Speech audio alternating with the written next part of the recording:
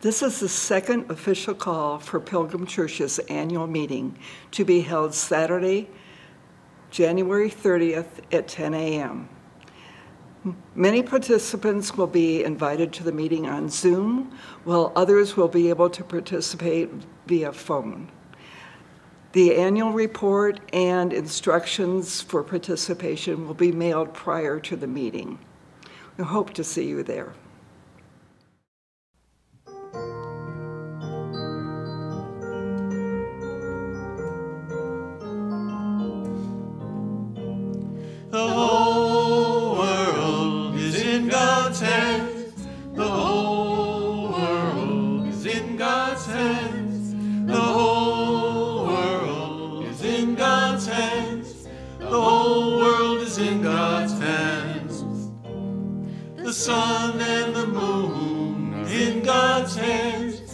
Sun and the moon is in God's hands. The sun and the moon are in God's hands.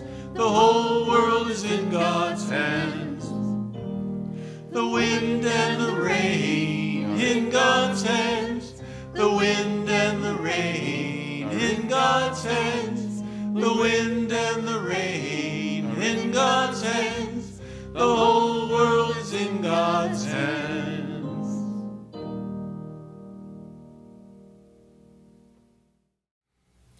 Grace of our Lord Jesus Christ and the communion of the Holy Spirit be with you all. Welcome to Pilgrim Congregational United Church of Christ service of worship in Lansing, Michigan. This is the 17th day of the month of January 2021, and we are in the church season of Epiphany. Tomorrow is Martin Luther King Jr. Day. Dr. King's real birthday was on January 15th. On this Sunday, in between, we recognize the contribution of the Reverend Dr. Martin Luther King Jr., a man who put his faith into action. And since Reverend King is most remembered for his work in the civil rights movement, we have also marked the contributions of uh, other civil rights leaders in years previous. So today we uh, will honor the memory of Reverend Dr. Martin Luther King Jr. and the work for racial equality. Dr. King reminded us that God wants us to be motivated by love and not fear.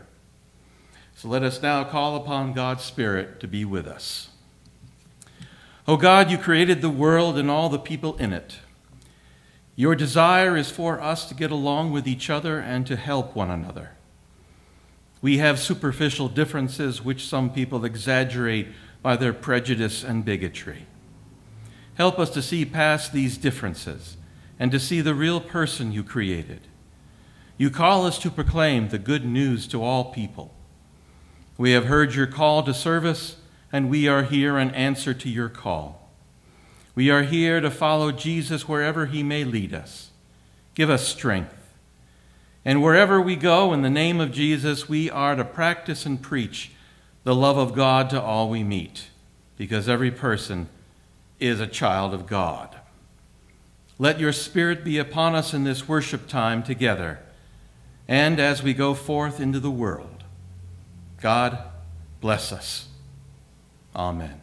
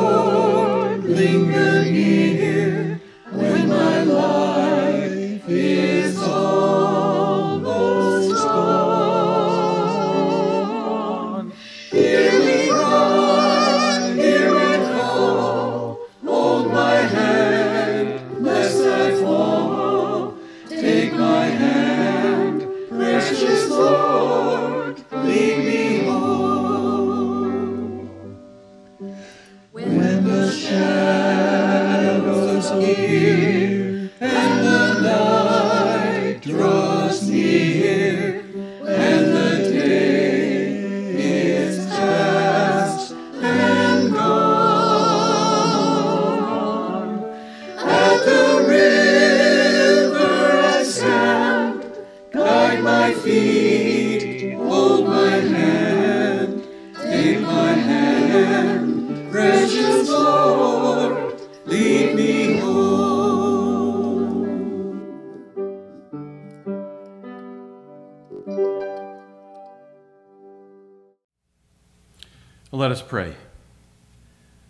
People, help us to be as inviting and accepting of others as Jesus was. Jesus preached that your kingdom was near, and truly your kingdom exists wherever love is found. Teach us your ways, and let your Spirit envelop our hearts and minds that we may faithfully follow you. Inspire and lead us on by the vision of your realm. Forgive us when we practice prejudice and exclude people from your good news. Give us courage and strength to follow you even when we are unsure of the way and uncertain of what will become of us. Help us overcome our doubts and fears and bring us to a unity of purpose in your love and grace. Forever we hope in you through Jesus Christ. Amen. In faith, we follow God, our sovereign Lord, and ask God to lead us into a brighter future. God calls upon us to do justice and gives us strength for the struggle. We look forward to the day when God rules a world of peace and love. We sing of God's grace in the song, Lead On, Eternal Sovereign, number 573 in the New Century Hymnal.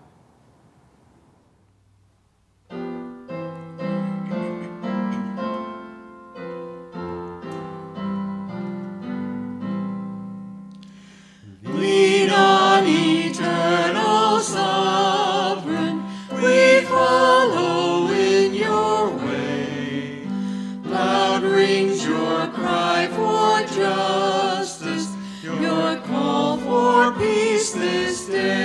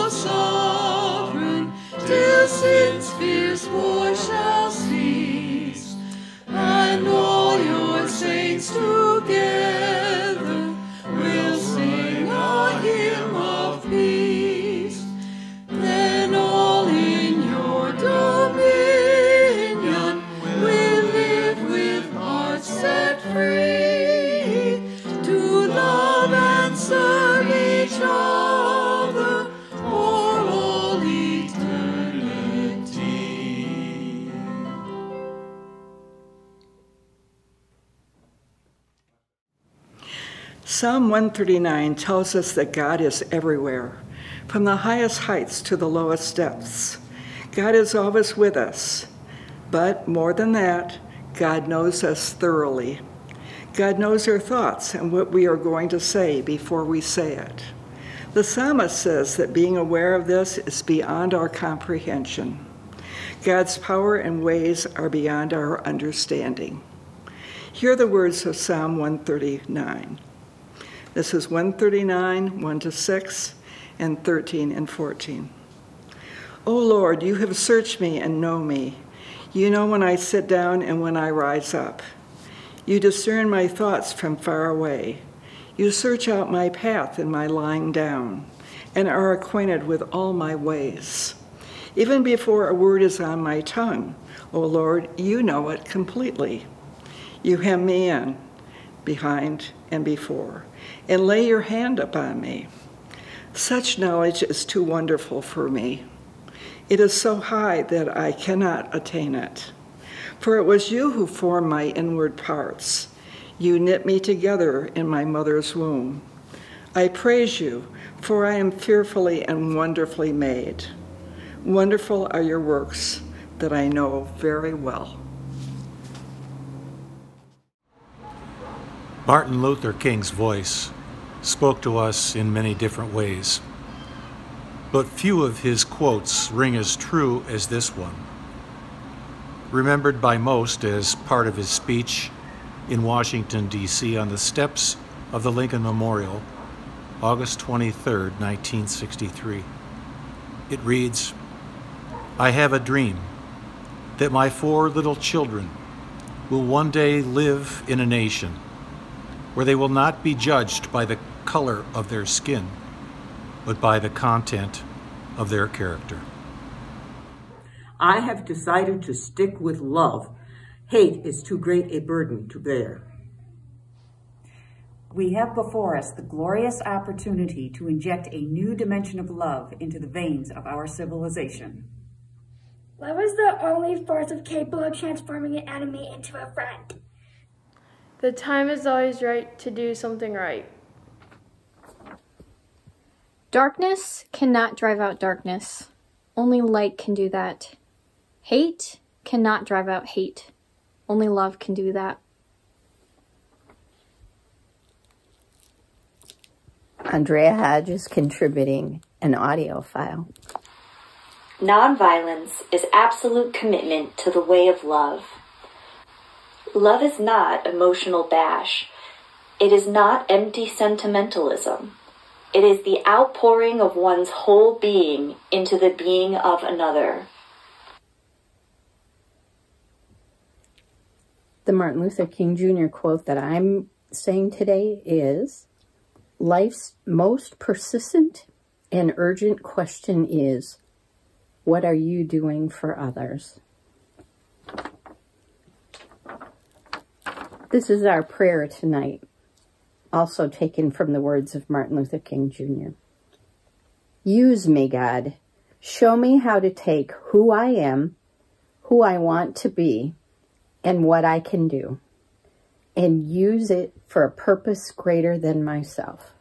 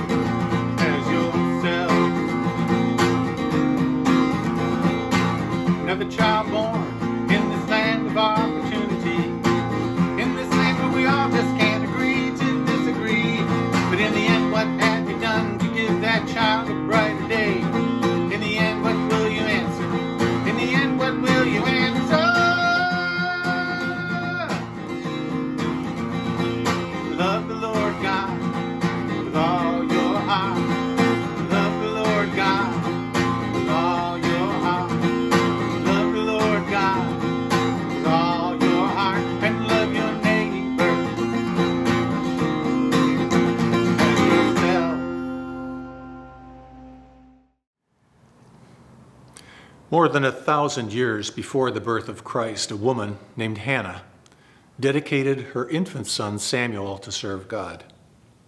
As a boy, Samuel served the high priest Eli.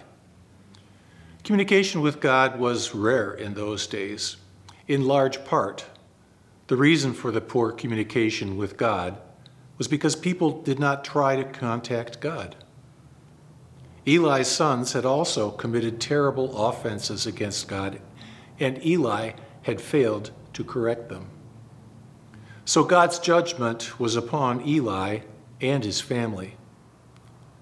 God contacted the young boy Samuel to communicate with God's people again. It's important for all of us to listen to God. Open your heart and open your ears to hear the first book of Samuel, chapter 3, verses 1 through 10. Now the boy Samuel was ministering to the Lord under Eli.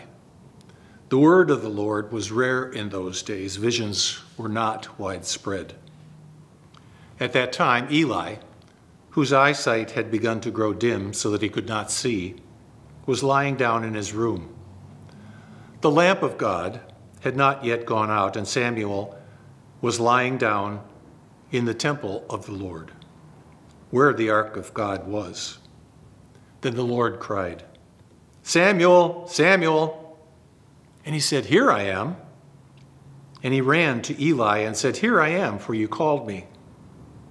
But he said, I did not call. Lie down again. So he went and lied down. Then the Lord called again, Samuel. Samuel got up, went to Eli, and said, Here I am, for you called me. But he said, I did not call my son. Lie down again. Now Samuel did not yet know the Lord, and the word of the Lord had not yet been revealed to him. The Lord called Samuel yet again, a third time. And he got up and went to Eli and said, Here I am, for you called me. Then Eli perceived that the Lord was calling the boy. Therefore Eli said to Samuel, Go, lie down, and if he calls you, you shall say, Speak, for your servant is listening. So Samuel went and lay down in his place. Now the Lord came and stood there, calling as before, Samuel, Samuel. And Samuel said, Speak, for your servant is listening. There is something comforting and upsetting about Psalm 139. It's comforting to know that God knows us through and through and that God is everywhere we go. There is no place that God is not there for us. When we're in trouble, well, we really do want God readily available. But when things, uh, there are things that we would rather not have God know. And then knowing God knows our every move and wherever we are and our thoughts, well, that can be very disconcerting.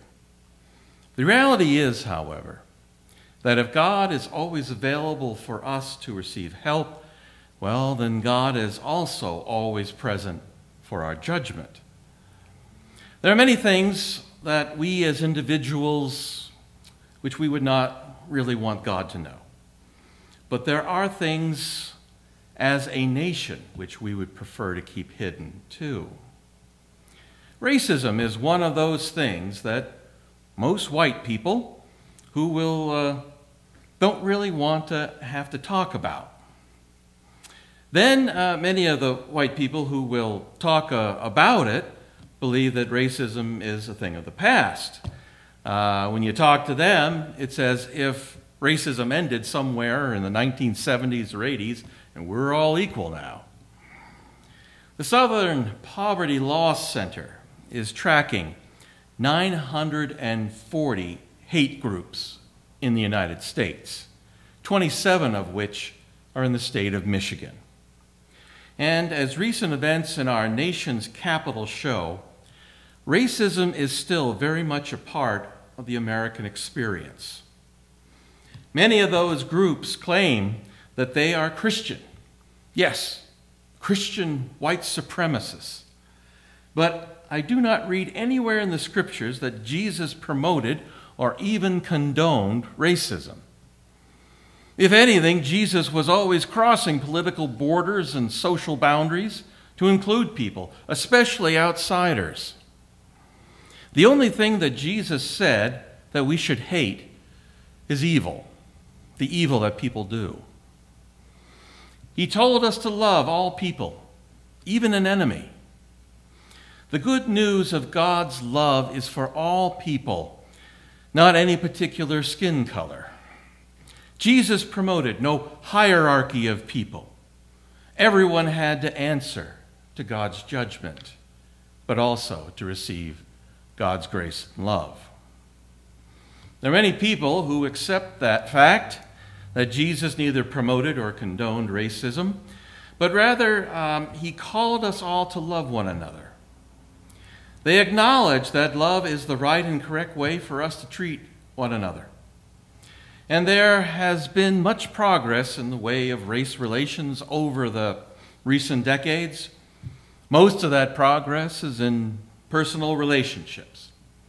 But our nation is still permeated with systemic racism or institutional racism. Our social organizations and institutions have unwritten policies of favoring white people over other groups. Whites get jobs more often than other groups. Whites get promoted more often within institutions than other groups, and etc. This kind of racism has continued because, well, it's not openly apparent for all to see, and it benefits the people who already have power in that institution. It is a part of the hidden racism which we all participate in one way or another, whether as victims or as beneficiaries. It's easier to hide systemic racism and therefore harder to weed it out and to get rid of it. It hides in policies that do not get enforced or legalities that are overlooked.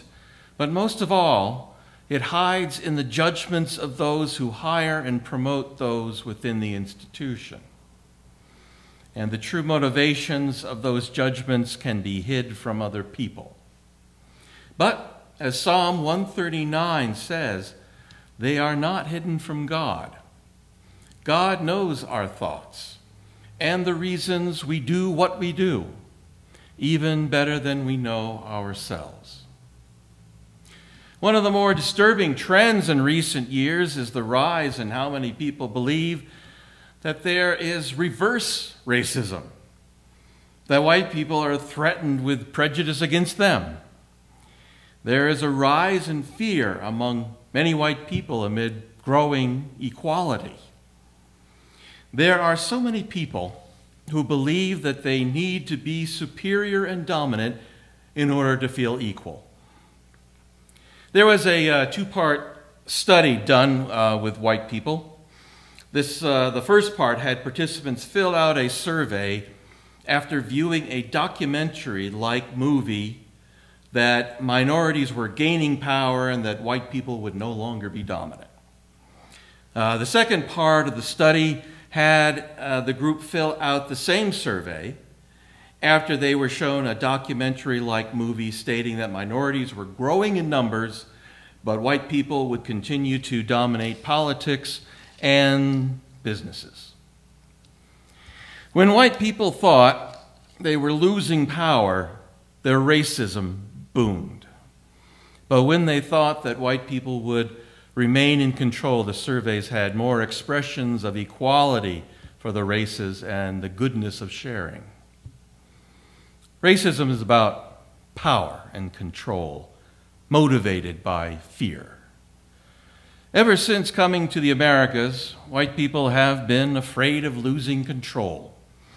Most of the time, their superior weapons and numbers ensured their dominance over other groups. As civilization became commonplace, white people used laws and policies to keep power, and they still do. People do not like to give up their advantages and their privileges over other people. It is a safety factor to make sure that they get what they need and also to get what they want. And they want that safety factor, even if it means other people have to do with less and they are uncertain about getting what they need to survive. People who are in power want to stay in power. And just look at Washington, D.C. to see that clearly. It is a motivation by fear.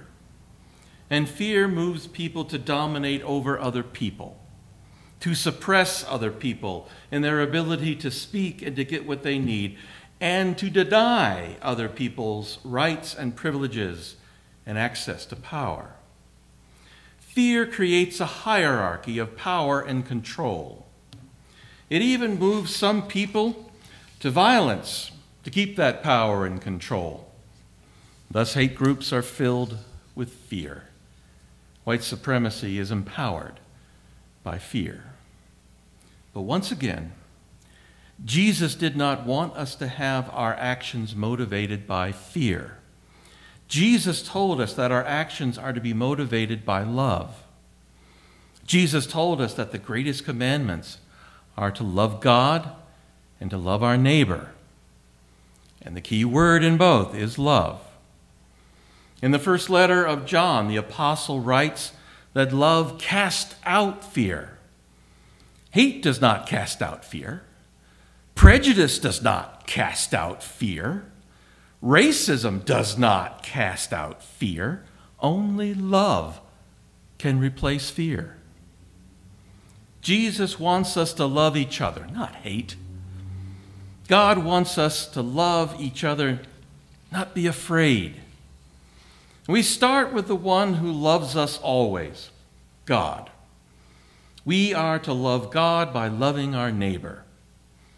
Loving our neighbor means seeing our neighbor's needs and wants as equal to our own. Loving our neighbor means seeing our neighbor as a child of God, just like we are. No better and no worse than we are. When fear dominates the political and social arenas as the primary motivator, we are not acting according to the desires or commandments of God. Much of what has happened in Washington has been motivated by fear. And it is about time we started doing things out of love as God wants us to do. Now, Dr. Martin Luther King Jr. reminded us of that in his work for civil rights. Equality of the races was a fulfillment of God's commandments to love our neighbor as ourselves. Our second scripture for today came from the first book of Samuel and described how the young boy Samuel was serving the high priest Eli. The first verse of chapter 3 says, The word of the Lord was rare in those days, and visions were not widespread. I think we all have felt like that from time to time in our lives, as if uh, our connection of God was infrequent and lacking in a direction for us to take. Much of the time, the connection with God is caused not by God's inactivity, but by people unwilling to reach out to God and to hear God's word. This seems to be the case in the first Samuel chapter 3. The sons of the high priest Eli were paying no attention to God, and they were doing all kinds of things to offend God. The word of the Lord was rare in those days because, well, people just didn't want to listen. And that can happen at any age. It can happen in our time. Too many people are listening to their fears, and not enough people are listening to God and loving our neighbor. If love dies, the word of the Lord becomes rare because the word of the Lord is love. Like Samuel, let us listen for the word of God. But we already have a hint as to what God will say. Jesus told us when we receive the word of God, it will have in its message love. That is the message of God. love. Let that be our guide. Let love be the direction and the end point of what we do and say. Let us listen to God and seek to cast out fear and always be motivated by love of our neighbor and love of God. Amen. Let us pray. Oh God, we long to help create with you a world which looks to the common good of all people. We desire a world where there is justice for all people and, and everyone is treated fairly. We want to celebrate the good gifts of all. We confess that we focus too much on our differences, oftentimes putting people down because they are not like us. We tell those with less to be patient for justice while we envy those who have more than we do and call on them to be fair to us. Help us, God, to see a vision of your kingdom so that we might strive to make it real on earth. Help us, God, to be fair and just with all people. And may love and justice prevail over prejudice, oppression, and hatred. God, bless our efforts to follow Jesus faithfully. And God, we remember this past year, Congressman John Lewis passed away. He was a very strong leader in the civil rights movement who was often at Dr. King's side. And we thank you for the work that John Lewis did, and we ask you to bless him in your kingdom. And, oh God, we ask for a peaceful inaugural. We pray that there will not be the violence of a couple weeks ago and God, we have also been disheartened by the rise of COVID 19 infections and the number of people who have died from it. Instead of going down, we have seen the worst of growing numbers. We know that people are tired of all the restrictions, but help us to carry on. Renew our strength to do what is right, to keep ourselves and others from getting infected. Give strength to our healthcare workers who are exhausted by being challenged so long in caring for patients. And bring healing to those who are ill, who are injured, and grieving according to your will. Bring healing to our broken relationships. And may love lead us as we seek to cast out fear. We ask all this in the name of our Savior Jesus Christ who taught us to give you our praise and petitions with these words Our Father, who art in heaven, hallowed be thy name. Thy kingdom come, thy will be done, on earth as it is in heaven. Give us this day our daily bread, and forgive us our debts as we forgive our debtors. And lead us not into temptation, but deliver us from evil. For thine is the kingdom and the power and the glory forever. Amen. Amen. We Shall Overcome became the unofficial anthem of the civil rights movements in 1959 when Guy Carawan sang it at the Highlander Folk School in Monteagle, Tennessee an adult education school that was doing nonviolent civil rights training. The song evolved from the original gospel song, I'll Overcome Someday, written by Reverend Charles Albert Tindley and published in 1901. The modern version of the song was first sung in Charleston, South Carolina in 1947 during a tobacco workers' strike. Pete Seeger and others picked up the song, adding to its development into the song we know today. Seeger and many other activist singers sang the song during their concerts and rallies.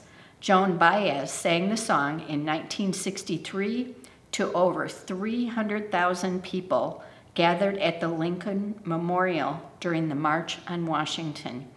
President Lyndon Johnson used the phrase, we shall overcome, in his speech to Congress on March 15, 1965, pronouncing his support for the civil rights movement.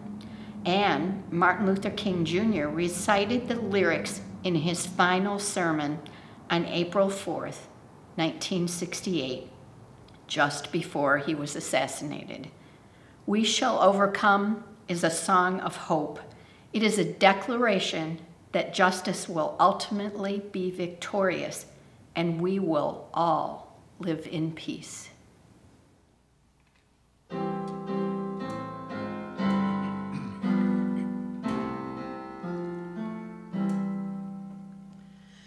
We shall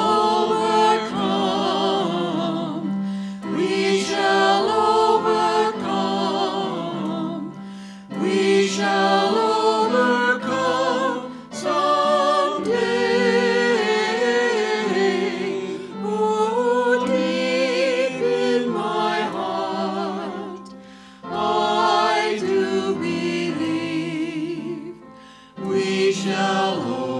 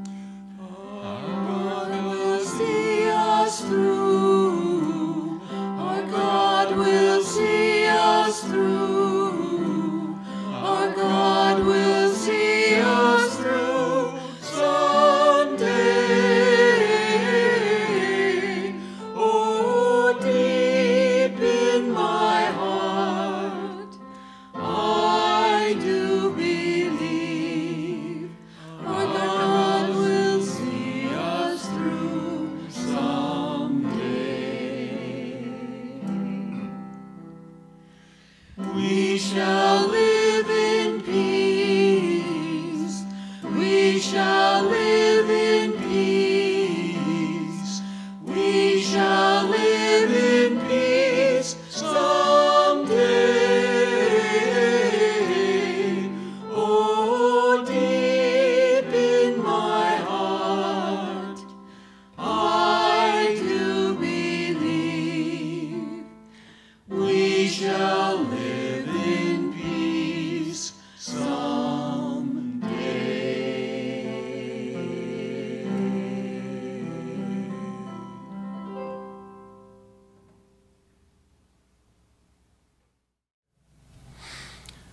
This is a benediction from Dr. Martin Luther King Jr.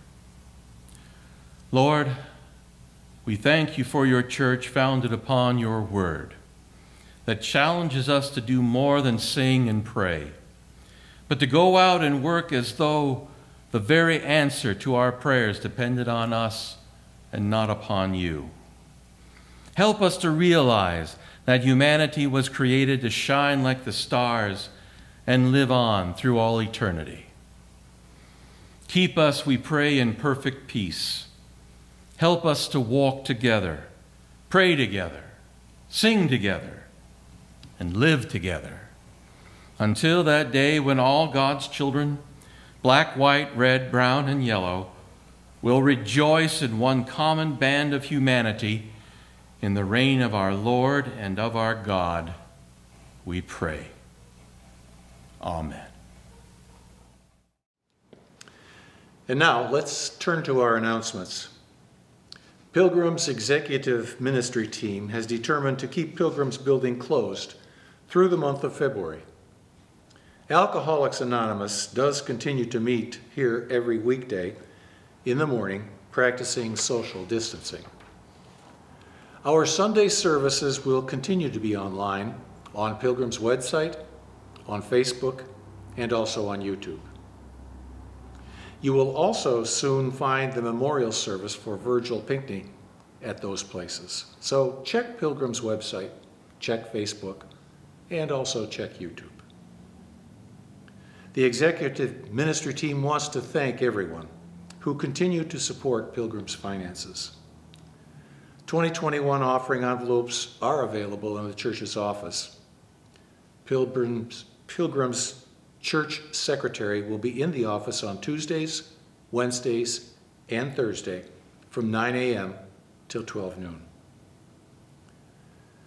Pilgrim's annual congregational meeting will be held on Saturday, January 30th at 10 a.m. For those of you who have computers, iPads, and smartphones, we'll meet by Zoom meeting. And for those who do not have computers, iPads, or smartphones with internet connections, you'll still be able to participate, but by phone. Details of how to participate will be forthcoming over the next few weeks. We'll also have a practice run on Saturday, January 23rd at 10 a.m. so we can work out any problems before the annual meeting. The annual reports with the budget will be mailed out prior to the annual meeting. That's it for now. Stay safe, stay healthy. God bless you. Amen.